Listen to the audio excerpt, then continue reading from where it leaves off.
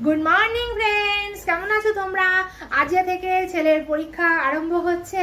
সেই জন্য আজকে থেকে আমি খুব বিজি থাকব। ব্লগ হয়তো রোজ নাও আসতে পারে। এডিটিং করার একটু সমস্যা হচ্ছে ভিডিও করার একটু সমস্যা হচ্ছে।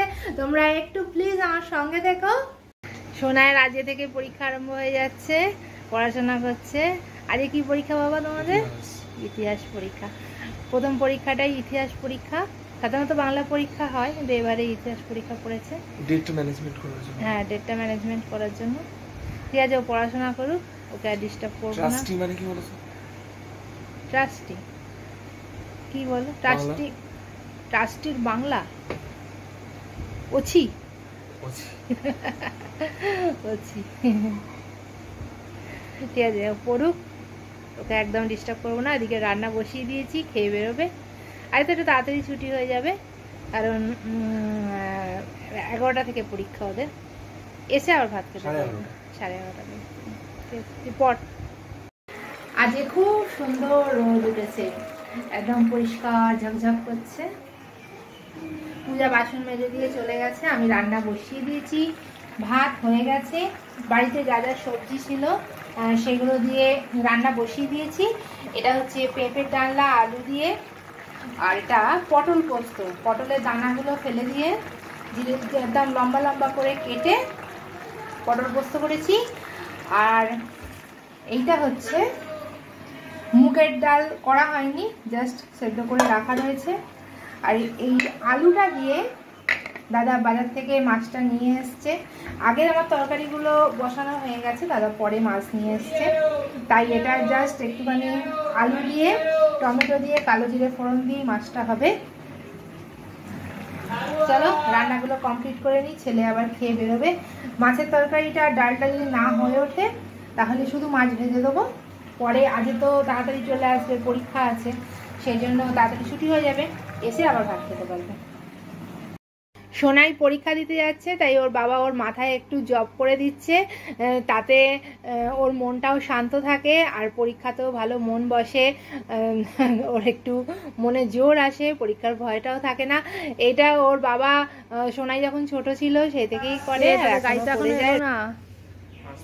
কখন আসবে? দেরি হয়ে যাচ্ছে তো।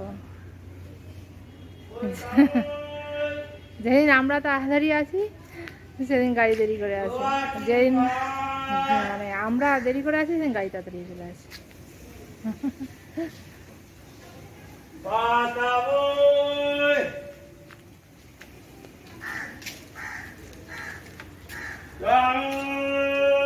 বন্ধ করে এই তো ছেলে স্কুলে বেরিয়ে গেল।